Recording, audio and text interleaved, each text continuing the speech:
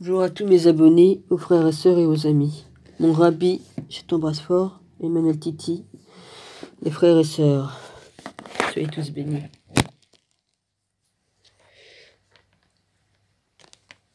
Lamentation de Jérémie. Et quoi, elle est assise solitaire, cette ville si peuple, si peuplée? Et quoi, elle est assise solitaire, cette ville si peuplée Elle est semblable à une veuve, grande entre les nations, souveraine parmi les États. Elle est réduite à la servitude, à la servitude. Lamentation de Jérémie, page 813.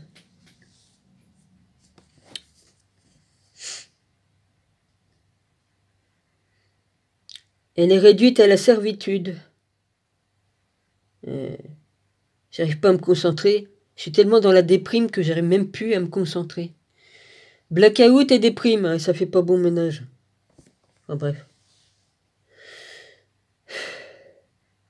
Et en quoi elle est assise solitaire, cette ville si peuplée? Elle est semblable à une veuve, grande entre les nations souveraines, parmi les États. Elle est réduite à la servitude. Elle pleure durant la nuit, et ses joues sont couvertes de larmes. De tous ceux qui l'aimaient, nul ne la console. Tous ses amis lui sont devenus infidèles. Ils sont devenus ses ennemis. Judas est en exil, victime de l'oppression et d'une grande servitude. Il habite au milieu des nations. Et il n'y trouve point de repos. Tous ses persécuteurs l'ont surpris dans l'angoisse. Les chemins de Sion sont dans le deuil, car on ne va plus aux fêtes, toutes ses portes sont désertes. Ses sacrificateurs gémissent. Ses vierges sont affligées, et elle est remplie d'amertume.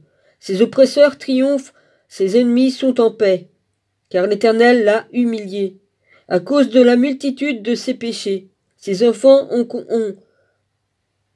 Excusez-moi, j'ai j'ai mon œil qui se brouille et j'ai du mal à lire. Ces enfants ont marché captifs devant l'oppresseur. La fille de Sion a perdu toute sa gloire.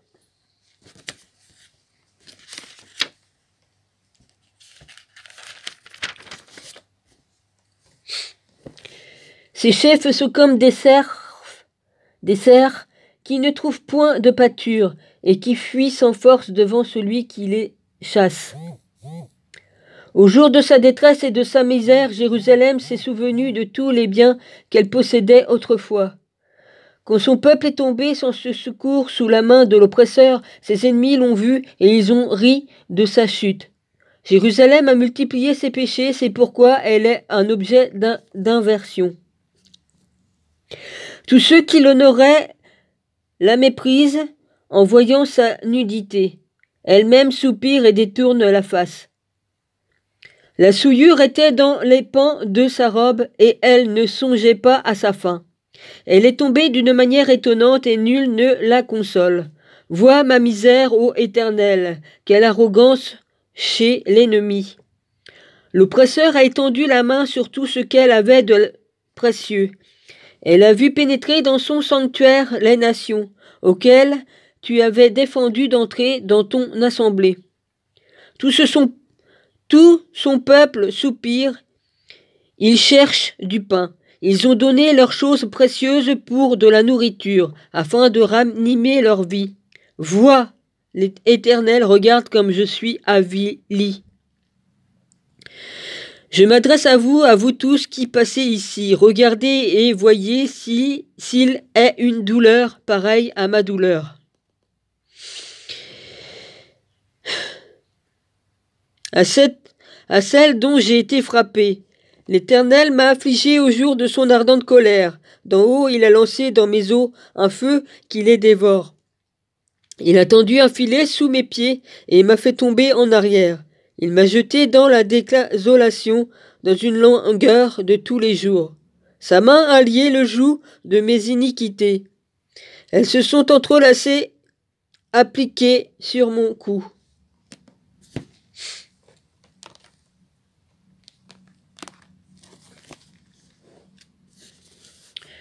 Il a brisé ma force, Le Seigneur m'a livré à des mains auxquelles je ne puis résister. Le Seigneur a terrassé tous mes guerriers au milieu de moi. Il a rassemblé contre moi une armée pour détruire mes jeunes hommes. Le Seigneur a foulé au pressoir la Vierge fille de Judas. C'est pour cela que je pleure, que mes yeux fondent en larmes, car il s'est éloigné de moi celui qui me consolait, euh, consolerait, celui qui me consolerait, qui ranimerait ma vie? Mes fils sont dans la désolation parce que l'ennemi a triomphé. Sion a étendu les mains et personne ne l'a consolé. L'Éternel a envoyé contre Jacob les ennemis d'alentour. Jérusalem, Jérusalem a été objet d'horreur au milieu d'eux. L'Éternel est juste, car j'ai été rebelle à ses ordres. Écoutez-vous tout, peuple, et voyez ma douleur. Mes vierges et mes jeunes hommes sont allés en captivité. J'ai appelé mes ennemis et ils m'ont trompé. Mes sacrificateurs et mes anciens ont expiré dans la ville. Ils cherchaient de la nourriture afin de ranimer leur vie. Éternel, regarde ma détresse, mes entrailles bouillonnant ou bouillonnent. Mon cœur est bouleversé au-dedans de moi, car j'ai été rebelle. En dehors, l'épée a fait ses ravages, en dedans, la mort. On a entendu mes soupirs et personne ne m'a consolé. Tous mes ennemis ont appris mon malheur. Ils se sont réjouis de ce que tu l'as causé. Tu amèneras, tu publieras le jour où ils seront comme moi.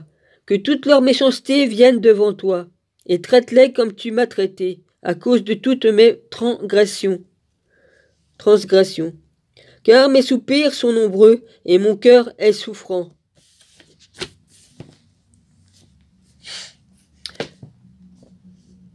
Le jugement de Jérusalem. Et quoi le Seigneur dans sa colère a couvert de nuages la fille de Sion? Il a précipité du ciel sur la terre la magnificence d'Israël.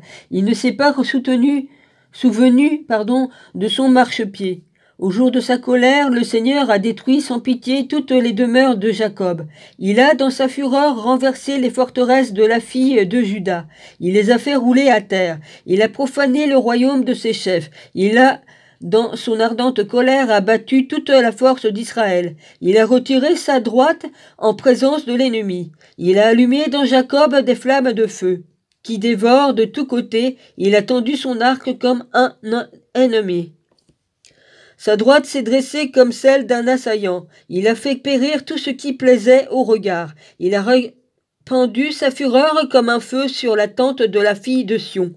Le Seigneur a été comme un ennemi. Il a dévoré Israël. Il a dévoré tous ses palais. Il a détruit ses forteresses. Il a rempli la fille de, de Judas de plaintes et de gémissements.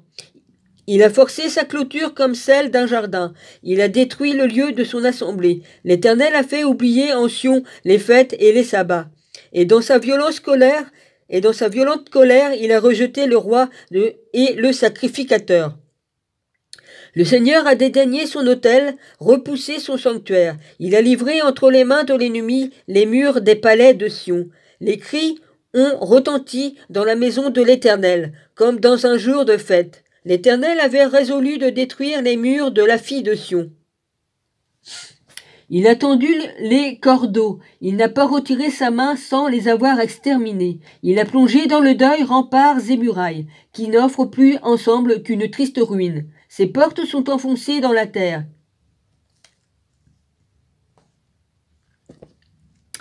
Il en a détruit rompu les barres, les barres son roi et ses chefs sont parmi les nations et il n'y a plus de loi.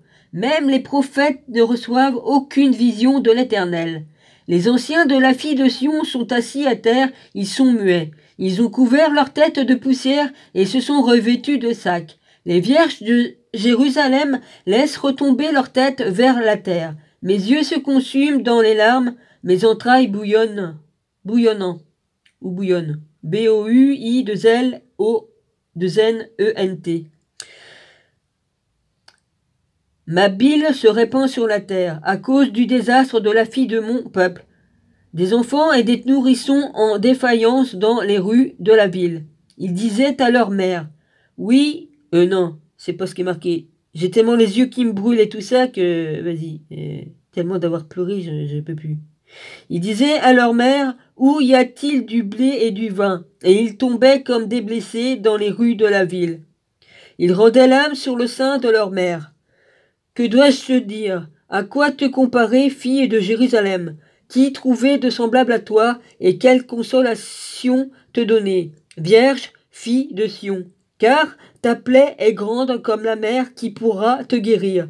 Tes prophètes ont eu pour toi des visions vaines et fausses. Ils n'ont pas mis à nu ton iniquité, afin de détourner de toi la captivité. Ils l'ont donné, ils t'ont donné des oracles mensongeurs, euh, mensongers et trompeurs.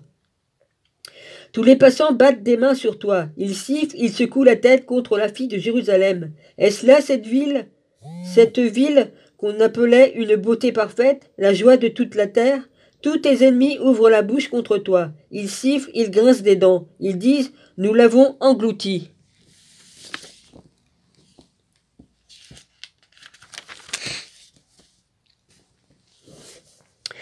C'est bien le jour que nous attendions. Nous l'avons atteint, nous le voyons. L'Éternel avait exécuté ce qu'il avait résolu. Il a, accompli la parole qu'il avait dès longtemps arrêtée. Il a détruit sans pitié. Il a fait de toi la joie de l'ennemi. Il a relevé la force de tes oppresseurs. Leur cœur crie vers le Seigneur.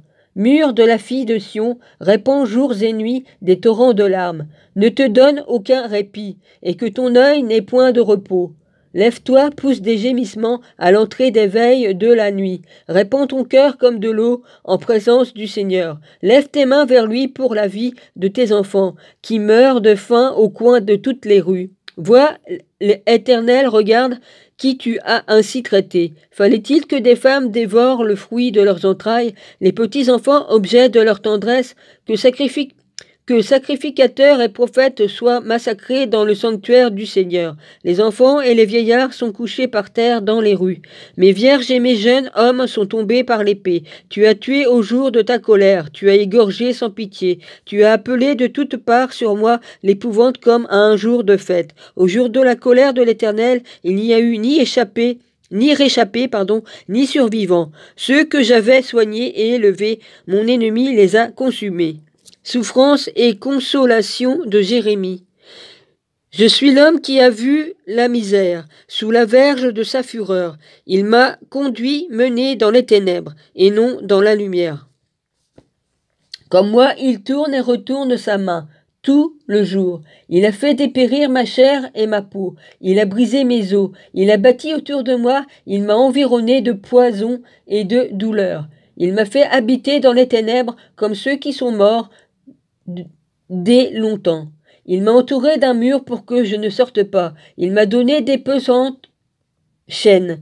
J'ai beaucoup crié et imploré du secours. Il ne laisse pas accès à ma prière. Il a fermé mon chemin avec des pierres de taille. Il a détruit mes sentiers. Il a été pour moi un ours en embuscade, un lion dans un lieu caché. Il a détourné mes voies, il m'a déchiré, et il m'a jeté dans la désolation. Il a rendu son arc, il a tendu son arc, pardon, et il m'a placé comme un but pour sa flèche. Il m'a fait entrer, il m'a fait entrer dans mes reins les traits de son carquois.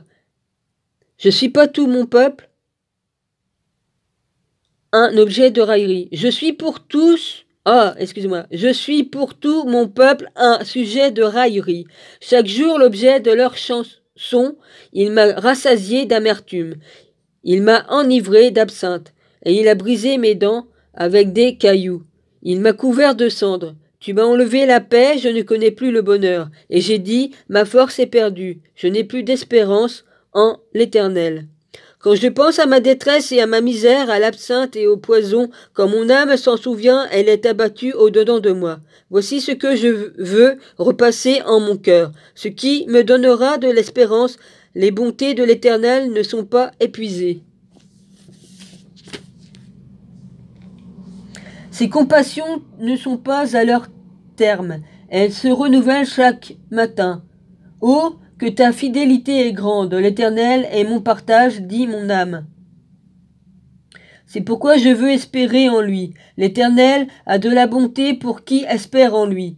Pour l'âme qui le cherche, il est bon d'attendre en silence le secours de l'Éternel. Il est bon pour l'homme de porter le joug dans sa jeunesse. Il se tiendra solidaire, solitaire et silencieux parce que l'Éternel le lui impose. Il mettra sa bouche dans la poussière, sans perdre toute espérance. Il se présentera la joue à celui qui le frappe. Il se rassaisira d'opprobre. Car le Seigneur ne rejette pas à toujours, mais lorsqu'il afflige, il a compassion selon sa grande miséricorde.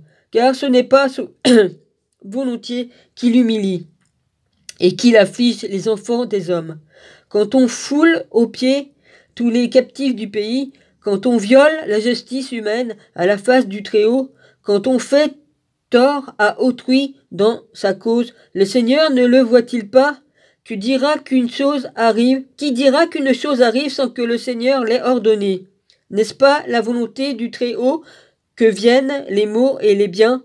Pourquoi l'homme vivant se plaindrait-il? Que chacun se plaigne de ses, propos de ses propres péchés. Recherchons nos voies et sondons et sondons-les. Et retournons à l'Éternel. Élevons nos cœurs et nos mains vers Dieu qui est au ciel. Nous avons péché, nous avons été rebelles. Ben oui. Tu n'as point pardonné. Tu t'es caché dans ta colère et tu nous as poursuivis. Tu as tué sans miséricorde, tu t'es enveloppé d'un nuage pour fermer l'accès à la prière. Tu nous as rendu un sujet de mépris, de sujet. Excusez-moi. Tu nous as rendu un objet de mépris et de dédain au milieu des peuples. Il ouvre la bouche contre nous, tous ceux qui sont nos ennemis. Notre partage a été la terreur et la fausse. Le ravage et la ruine. Des torrents d'eau coulent de mes yeux, à cause de la ruine de la fille de mon peuple. Mon œil fond en larmes, sans repos, sans relâche, jusqu'à ce que l'Éternel regarde et voie. Du haut des cieux, mon œil me fait souffrir, à cause de toutes les filles de ma ville. Ils m'ont donné la chasse comme à un oiseau. Ceux qui sont à tort ceux qui sont à tort mes ennemis. Ils ont voulu mettre fin à ma vie dans une fosse. Et ils ont jeté des pierres sur moi. Les eaux ont monté ma tête, je disais, je suis perdu. J'ai invoqué ton eau, ô éternel, du fond de la fosse. Tu as entendu ma voix. Ne fermez pas l'oreille à mes soupirs, à mes cris. Au jour où je n'ai invoqué, le jour, au jour où je t'ai invoqué, tu t'es approché. Tu as dit, ne crains pas. Seigneur, tu as défendu la cause de mon âme. Tu as racheté ma vie. Éternel, tu as vu ce qu'on m'a fait souffrir. Rends-moi justice. Tu as vu toute leur vengeance, tout leur complot contre moi. Éternel, tu as entendu tous leurs outrages. Tous les complots contre moi, les discours de mes adversaires et les projets qu'ils formaient chaque jour contre moi. Regarde quand ils sont assis et quand ils se lèvent. Je suis l'objet de leurs chansons. Tu leur donneras un salaire, ô Éternel, selon l'œuvre de leurs mains.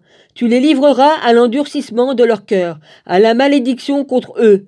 Tu les poursuivras dans la colère et tu les extermineras du dessous les cieux, ô Éternel. Situation déplorable pendant le siège de Jérusalem. Bah, je verrai ça une autre fois. On est à 18h48, donc voilà, je m'arrête là. Soyez tous bénis, je vous embrasse tous.